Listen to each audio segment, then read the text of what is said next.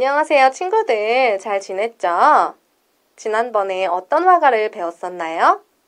바로 와일샤키라고 하는 화가였어요. 자연을 먼저 그리고 상상 가는 동물을 그려서 표현해 봤는데요. 아주 재미있었죠? 오늘은 또 새로운 화가를 소개해 줄 거예요. 바로 가즈비아 시리라고 하는 화가예요. 이 화가는 다양한 표현 방법으로 인물을 표현했답니다. 또 오늘은 어떤 작품이 기다리고 있을지 기대되는데요. 지금 바로 가즈비아 시리의 작품 속으로 들어가 볼까요? 10강 가즈비아 시리 가즈비아 시리는 이집트 화가예요. 이곳은 어디일까요? 교복을 입은 학생들과 선생님의 모습이 있는 걸 보니 교실인가 봐요. 오른쪽에 있는 아이는 손에 꽃을 들고 선생님을 바라보며 무슨 이야기를 하고 있는 것 같은데요. 선생님은 숙제 검사를 하고 있는 걸까요? 미소 띈 선생님의 표정을 보니 저도 기분이 좋아지네요. 이것도 가족을 그린 모습이에요. 앞에 두 아이는 서로 손을 잡고 어떤 이야기를 하고 있는 걸까요? 고민이 많은 표정인 것 같은데요. 뒤에 엄마는 어린아이를 안고 있고 엄마 옆에 있는 형은 새를 들고 있는데요. 새와 어린아이가 눈을 마주보고 꼭 얘기하고 있는 것 같지 않나요? 와, 이 작품은 굉장히 화려하네요. 화면이 여러 조각으로 나뉘어 있는 게 참 아름다워요. 이곳이 어디인지 맞춰볼래요? 여기를 집중적으로 봐보세요. 네, 바다 위에 배가 떠 있는 모습이죠? 뒤에도 보면 물에 비친 집들이 작은 조각들로 표현한 것을 보니 참 예쁘네요. 이 작품은 아까와는 또 다른 느낌이네요. 밝은 분홍색, 노란색, 연두색으로 가득 찬 그림을 보니 마음도 밝아지는 것 같아요. 동그라미, 세모, 네모 모양의 단순한 도형을 크게 그리고 그 안에 사람들을 그렸네요. 사람들을 단순한 형태로 그렸지만 참 재미있는데요. 오늘 우리도 이 작품과 비슷한 느낌으로 표현해 볼까 봐요. 그럼 시작해 봐요. 작품의 가운데에 있던 긴 의자에 앉아있는 다섯 명의 여자를 그려볼 거예요. 지금은 위치만 잡을 테니 눈으로만 보세요.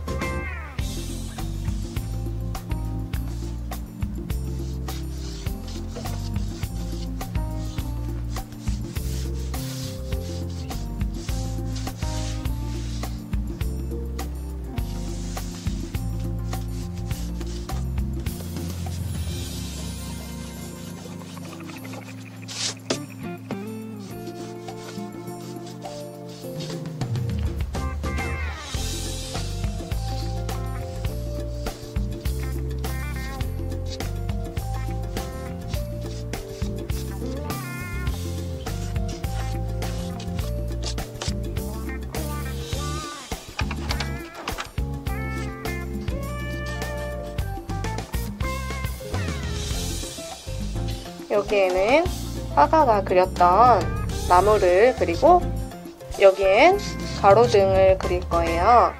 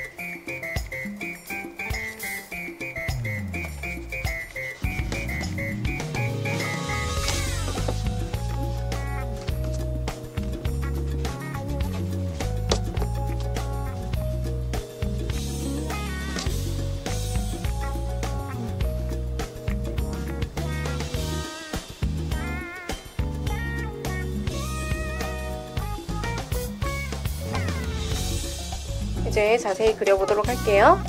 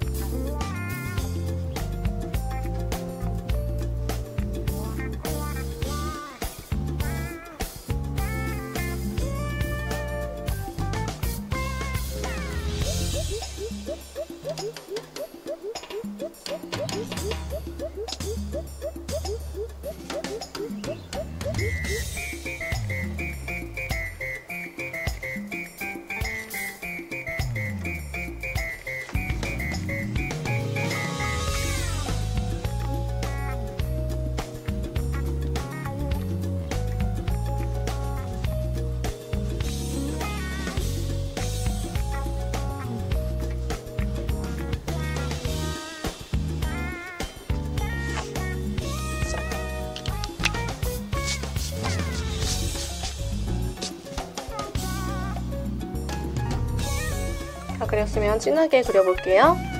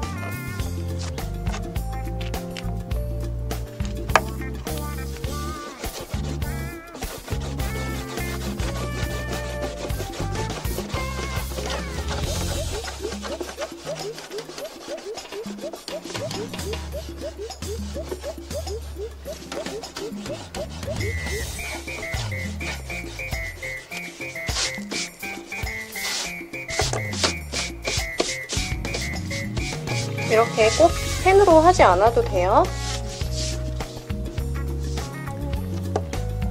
화가의 그림체를 따라서 표현해 봤어요.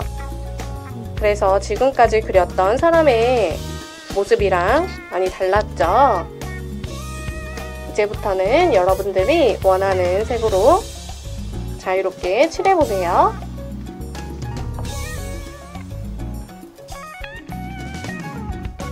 화면을 잠시 멈추고 작품을 참고하면서 자유롭게 상상하여 완성해 보세요.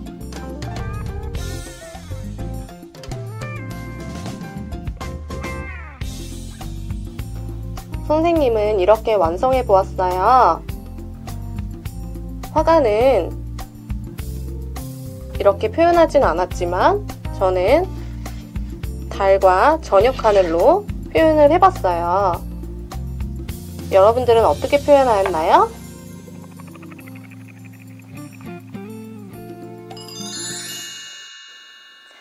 네, 오늘 수업 어땠나요? 풍경과 인물을 일부러 못 그리는 것처럼 표현해 봤는데요. 화가도 이렇게 일부러 잘 못 그리는 것처럼 많이 표현하기도 했거든요. 그러니까 우리 친구들도 그림을 꼭 잘 그려야 한다는 부담을 갖지 않았으면 좋겠어요. 네, 그럼 오늘도 함께해서 즐거웠고요. 다음 시간에 또 만나도록 해요. 안녕!